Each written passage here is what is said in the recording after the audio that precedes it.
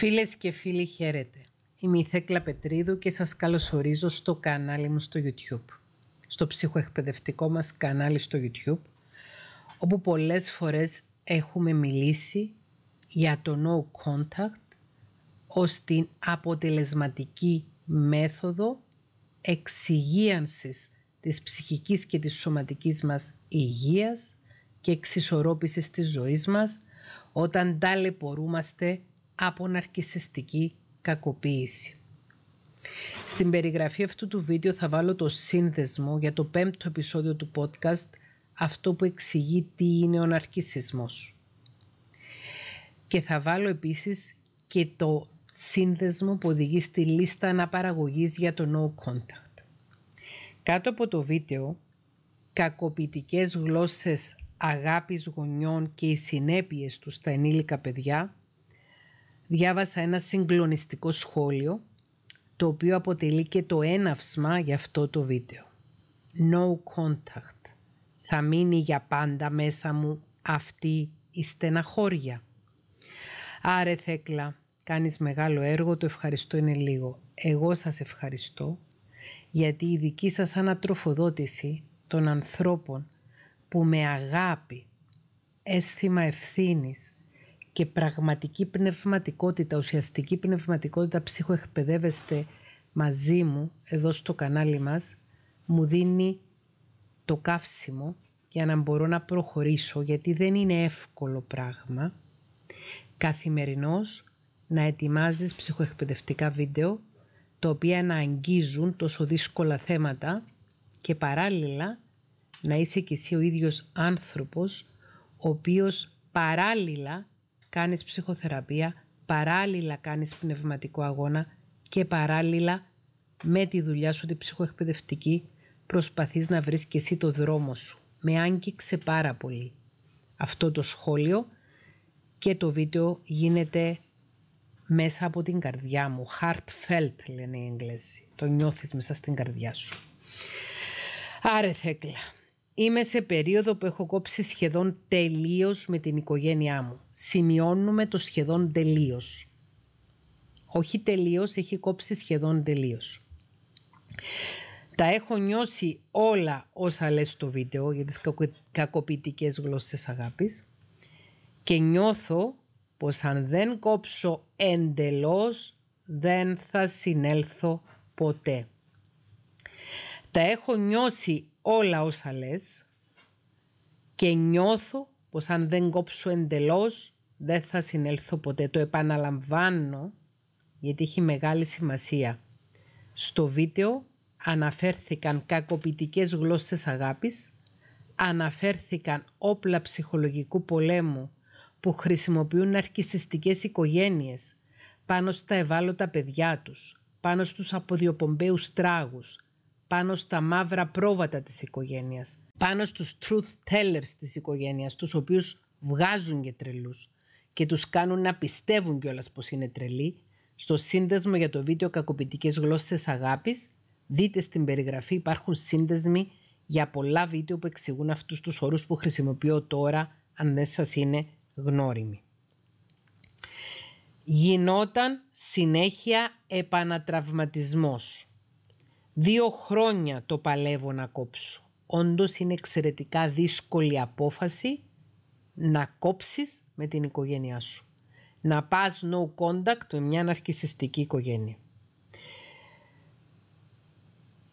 Μέχρι να το κόψω, μέχρι να το κόψεις θα συνεχίσει να γίνεται ο επανατραυματισμός. Το low contact και το grey rock είναι μέθοδοι οι οποίες μακροπρόθεσμα δεν μας κάνουν καλό.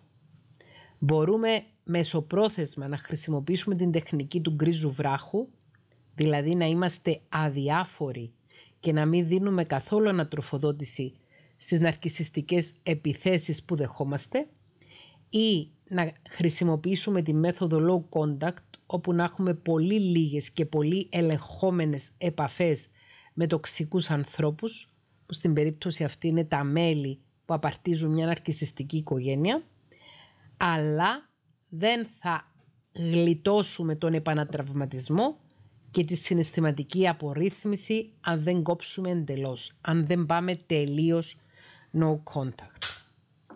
Δύο χρόνια το παλεύω και ακόμη πενθώ μέσα μου. Αν δεν κόψεις εντελώς, θα πενθείς μέχρι να κόψεις εντελώς. Γιατί ακριβώς αυτή η χαμηλή επαφή, αυτή η λίγη επαφή, αυτή η ελπίδα που ακόμη σε συνδέει με εκείνο το ναρκισιστικό σύστημα, θα σου προκαλεί συνεχώς την αίσθηση της απώλειας. Έχω το αίσθημα της αδυναμίας και ότι πως θα είμαι μόνη και ξεκρέμαστη στον κόσμο. Είναι μέρος της διαδικασίας και αυτό ε; Το αίσθημα της αδυναμίας και ο φόβος πως θα είσαι μόνη και ξεκρέμαστη στον κόσμο είναι αποτέλεσμα της συστηματικής ναρκισιστικής κακοποίησης που δέχονται τα μαύρα πρόβατα, οι αποδιοπομπαίοι τράγοι, τα παιδιά εκείνα τα οποία απομονώνει και πολεμά ψυχολογικά μια ναρκισιστική οικογένεια. Όταν λέω μια ναρκισιστική οικογένεια ή ένα ναρκισιστικό οικογενειακό σύστημα, ενώ τους ναρκισιστές γονείς, που μπορεί ο ένας από αυτούς να είναι μεγαλομανής ναρκισιστής και ο άλλος να είναι ευάλωτος ναρκισιστής ή κρυφό ναρκισιστής, μπορεί να είναι και οι δύο κοινοτικοί ναρκισιστές, μπορεί ο ένας να παίζει το ρόλο του θήτη και ο άλλος το ρόλο του θύματος στη μεταξύ τους ναρκισιστική σχέση, αλλά είναι και οι δύο ναρκισιστές. Γιατί ένας γονέας ο οποίος καταδέχεται να μεγαλώνουν τα παιδιά του μέσα σε ένα κακοποιητικό περιβάλλον, δεν έχει καμία δικαιολογία ότι παραμένει σε εκείνο το γάμο για τα παιδιά και είναι συνεξαρτώμενος. Έχουμε κάνει πολλά βίντεο εδώ στο κανάλι για να εξηγήσουμε τη διαφορά μεταξύ συνεξάρτησης και ανθρώπου ο οποίος είναι ναρκισιστής, αλλά είναι και καλυμμένος ναρκισιστής. Ένα ναρκισιστικό οικογενειακό σύστημα αποτελείται από γονείς ναρκισιστές και τα παιδιά των ναρκισιστών γονέων, τα ενήλικα παιδιά των ναρκισιστών γονέων, τα οποία συνήθως ήταν και τα χρυσά παιδιά των ναρκισιστών γονέων, τα οποία επιλέγουν να αντιγράψουν τους γονείς τους, να ακολουθήσουν την πορεία των γονέων τους, να παθήσουν στα βήματα των γονέων τους, όπως λένε στα αγγλικά, to walk on their steps και να γίνουν κι αυτοί ναρκισιστές. Δεν είναι απαραίτητο ότι το χρυσό παιδί δύο ναρκισιστών γονέων θα γίνει απαραίτητα ναρκισιστής, αλλά παρατηρείται πολύ πιο συχνά το χρυσό παιδί να γίνεται ναρκισιστής. Μπορεί και το μαύρο πρόβατο να εξελιχθεί σε ναρκισιστή, δεν είναι απαραίτητο. Γι' αυτό χρειάζεται πάρα πολύ διακριτικότητα και να παίρνουμε βοήθεια από ειδικό προκειμένου να καταλάβουμε τις δυναμικές των σχέσεων που έχουμε με τα υπόλοιπα μέλη της οικογένειας μας και για να καταλάβουμε και το δικό μας στυλ προσωπικότητας. Και ψυχοεκπαίδευση οπωσδήποτε, αλλά και ουσιαστική βοήθεια από ειδικό. Ένα ναρκιστικό οικογενειακό σύστημα καταπονεί τόσο πολύ τα θύματα του που τα κάνει να πιστέψουν ότι εάν ξεκόψουν από αυτό θα είναι μόνοι τους στον κόσμο και δεν θα έχουν πουθενά να πάρουν αγάπη και στοργή. Είναι όμως μια τεράστια ψευδέστηση ότι παίρνεις ασφάλεια, αγάπη και στοργή από μια ναρκισιστική οικογένεια. Από μια ναρκισιστική οικογένεια παίρνεις συνεχές bullying, συνεχή υποτίμηση, συνεχές ντρόπιασμα και συνεχή ψυχολογικό πόλεμο παρόλο που νομίζεις επειδή είσαι εξαρτημένος, συνεξαρτημένος και προσκολλημένος στους κακοποιητικούς γονείς σου και στα κακοποιητικά αδέλφια σου, πως μακριά από αυτούς θα χάσεις τη δύναμή σου, στην ουσία μόνο μακριά από αυτούς μπορεί να βρεις τη δύναμή σου. Και ναι είναι μέρος της διαδικασίας, γιατί όταν αποφασίζει ένας άνθρωπος να πάει no contact, σημαίνει ότι είναι εξαιρετικά μπλεγμένος σε ένα δίχτυ αδιάλειπτης, συνεχόμενης κακοποίησης. Υπάρχει περίπτωση να συνεχίσω τη ζωή μου χωρίς να με πονάει πια; Ναι, υπάρχει περίπτωση. Εάν πας οριστικό και αμετάκλητο no contact, εάν κάνεις όση ψυχοθεραπεία χρειάζεται για να αναρρώσεις από τη συστηματική ναρκισιστική κακοποίηση, αν ψυχοεκπαιδεύεσαι συστηματικός και αν κάνεις καθημερινός προσωπικό πνευματικό αγώνα, με την όρεξή σου, ναι, θα φτάσει κάποια στιγμή που δεν θα σε πονάει πια. Αν όμως δεν τολμάς να πας οριστικό και αμετάκλητο no contact και αν συνεχίζεις να έχεις λίγες επαφές, είσαι low contact ή αν νομίζεις ότι με το να είσαι γκρίζος βράχος, με το να χρησιμοποιείς την τεχνική του γκρίζου βράχου, ότι δεν τρα... επανατραυματίζεσαι και δεν χαλιέσαι, γελιέσαι. Υπάρχει περίπτωση να συνεχίσω τη ζωή μου χωρίς να με πονάει πια και χωρίς τις ενοχές ότι τους εγκαταλείπω. Ενώ βέβαια αυτοί με έχουν εγκαταλείψει πρώτα. Είμαι σε αυτό το στάδιο. Το αντιμετωπίζω λίγο-λίγο και προχωράω μπροστά λίγο-λίγο κάθε μέρα. Θέλω απλώς να πιστέψω ότι δεν θα μείνει για πάντα μέσα με αυτή η στεναχώρια. Σε ευχαριστώ γιατί συνέβαλες στην αφύπνισή μου. Θα σου μιλήσω ως όμοιος προς όμοιο. Σε καταλαβαίνω απόλυτα. Απόλυτα σε καταλαβαίνω. Μπορώ να καταλάβω κάθε λέξη που γράφεις και κάθε συνέστημα που περιγράφεις. Μπορώ να καταλάβω την απόλυτη αδυναμία που νιώθει ένα παιδί που έχει μεγαλώσει σε ένα ναρκισιστικό σύστημα, την απόλυτη αδυναμία να αποκόψει τους δεσμούς. Τους οποίους δεσμούς οι ναρκισιστές γονείς του ονομάζουν δεσμούς αίματος και το αίμα νερό δεν γίνεται. Το αίμα νερό δεν γίνεται θα σου πούν. Πώς μπορείς να πας no contact με τη μάνα σου, πώς μπορείς να πας no contact με τον πατέρα σου, πώς μπορείς να πας no contact με τα ανήλικα αδέρφια σου, πώς τολμάς, πώς τολμάς να διακόψεις, να χαλάσεις τους δεσμούς αίματος, γιατί το αίμα, το αίμα είναι πολύ σημαντικό. Ναι, είναι σημαντικό το αίμα, ναι, όταν πάμε να κάνουμε μετάγγιση αίματος, αν μας βάλουν τη λάθος ομάδα αίματος μπορεί να έχουμε σοβαρό πρόβλημα.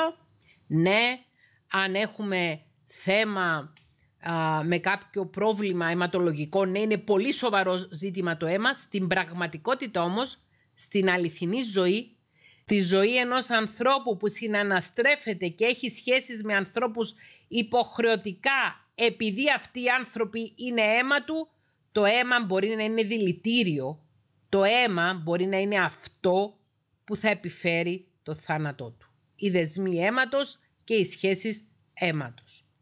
Καταλαβαίνω τις ενοχές, καταλαβαίνω τη στενοχώρια, καταλαβαίνω το φόβο, όμως δεν υπάρχει άλλος δρόμος, δεν υπάρχει άλλη οδός που να οδηγεί ουσιαστικά στην ελευθερία. Στην απελευθέρωση από τη συνεχιζόμενη κακοποίηση, από το συνεχή επανατραυματισμό μέσα σε τέτοια ναρκισιστικά οικογενειακά συστήματα. Δυστυχώς, αν έχεις γεννηθεί σε μια τέτοια οικογένεια, δεν έχεις άλλη λύση. Δεν υπάρχει άλλος τρόπος για να σώσεις τον εαυτό σου, για να σώσεις τα σφρένα σου, για να σώσεις τη ψυχική και σωματική σου υγεία. Θέλω να σου πω ότι όσο πιο αποφασιστικά εφαρμόσει κάποιος το no contact, όσο πιο πολύ επενδύσεις στη ψυχοθεραπεία τους, στη ψυχοεκπαίδευση του και στον προσωπικό του πνευματικό αγώνα πριν και κατά τη διάρκεια της εφαρμογής του no contact και μετά την εφαρμογή του no contact, τόσο πιο γρήγορα θα ξεπεράσει το πένθος της απώλειας ποιον; Ουσιαστικά των κακοποιητών του. Αλλά στην ουσία δεν είναι πένθος ότι έχεις χάσει τους κακοποιητές σου.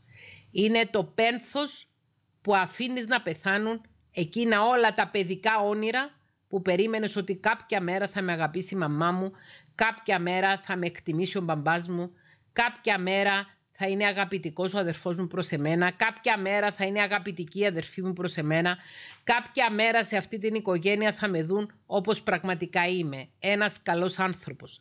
Κάποια μέρα θα μου πούν χαίρετε και θα εννοούν ότι όντως θέλουν να χαίρομαι. Κάποια μέρα θα χαρούμε τη χαρά μου. Κάποια μέρα θα λυπηθούν με τη λύπη μου. Πόσα χρόνια είχαμε τέτοια όνειρα τα οποία συνεχώς ματαιώνονταν, αλλά τα όνειρα και η ελπίδα ότι κάποια μέρα θα μας αγαπήσουν και θα μας αποδεχθούν ήταν σημαντικά για μας. Οπότε τι κάναμε, αφιερώναμε το μεγαλύτερο μέρος της ενέργειας μας προσπαθώντας να ευχαριστήσουμε αυτούς τους ανθρώπους που δεν πρόκειται να ευχαριστηθούν ποτέ και δεν αφιερώναμε αυτή την ενέργεια στο να βελτιώσουμε ουσιαστικά τη σχέση μας με τον εαυτό μας να επενδύσουμε πάνω στη ψυχική και τη σωματική μας υγεία και να επενδύσουμε στο να δημιουργήσουμε σχέσεις υγιείς που μπορεί να μην μας ενώνουν δεσμοί αίματος, αλλά να μας ενώνουν δεσμοί αγάπης. Από το αίμα προτιμάω την αγάπη. Εσείς. Από το αίμα προτιμώ τη ψυχική και τη σωματική υγεία. Εσείς. Από το αίμα προτιμάω να είμαι καλά ουσιαστικά και ας λένε ότι είμαι ένας κακός άνθρωπος επειδή άφησα πίσω το αίμα μου και τόλμησα να διαλύσω δεσμούς αίματος. Από τη θέση μου ως ψυχολόγος και έχοντας δει χιλιάδες ανθρώπους και επικοινωνήσει με πάρα πολλούς άλλους, με πάρα πολλές άλλες χιλιάδες ανθρώπων, δεν έχω δει μέχρι σήμερα ανθρώπους που πήγαν no contact με τους κακοποιητές τους οι οποίοι να το μετάνιωσαν. Έχω δει όμως ανθρώπους οι οποίοι έφαγαν κυριολεκτικά, σπατάλησαν κυριολεκτικά τη ζωή τους, την υγεία τους, την ισορροπία τους, προκειμένου να ευχαριστήσουν ανθρώπους οι οποίοι ποτέ δεν θα ευχαριστηθούν, προκειμένου να επιρετούν ακόμη και να γεροκομούν, ακόμη και να κάνουν τους νοσηλευτές σε ανθρώπους οι οποίοι με την πρώτη ευκαιρία θα ρίξουν τη φαρμακερή τους κουβέντα, θα σε δαγκώσουν κρυφά σαν το φίδι που θρέφεις στον κόρφο σου. Αυτό που θέλω να σου πω είναι ότι όσο πιο αποφασιστικά εφαρμοστεί το no contact, όσο πιο πολύ τολμήσουμε να δούμε ξεκάθαρα την πραγματικότητα, τόσο πιο γρήγορα θα περάσουμε τη διαδικασία πένθους. Και όσο πιο νωρίς εστιάσουμε στον εαυτό μας, στην καλλιέργεια της ψυχής μας και στην καλλιέργεια υγιών σχέσεων, τόσο λιγότερο θα χρειαστεί να κλαίμε πάνω από το χυμένο γάλα. Οι τοξικοί γονείς και τα τοξικά αδέρφια είναι χυμένο γάλα. Το γάλα που έχει χυθεί από το ποτήρι δεν μπορεί να ξαναμπεί μέσα στο ποτήρι. Don't cry over spit milk, λένε οι Εγγλέζοι. Είναι process όμως. Είναι διαδικασία και παίρνει χρόνο. Για να πάρει λιγότερο χρόνο μας βοηθάει το να μην κάνουμε πίσω γυρίσματα. Στέλνω την αγάπη μου σε όλους, αγωνιστικούς χαιρετισμούς και θα χαρώ πολύ στα σχόλια να διαβάσω ιστορίες επιτυχίας ανθρώπων οι οποίοι όταν επιτέλους αποφάσισαν να εφαρμόσουν αποφασιστικά το no contact είδαν επιτέλους φως στη ζωή τους. Είδαν χαρά, είδαν αγάπη, είδαν ευδαιμονία και ας έμειναν χωρίς το αίμα. Αίμα. Yeah.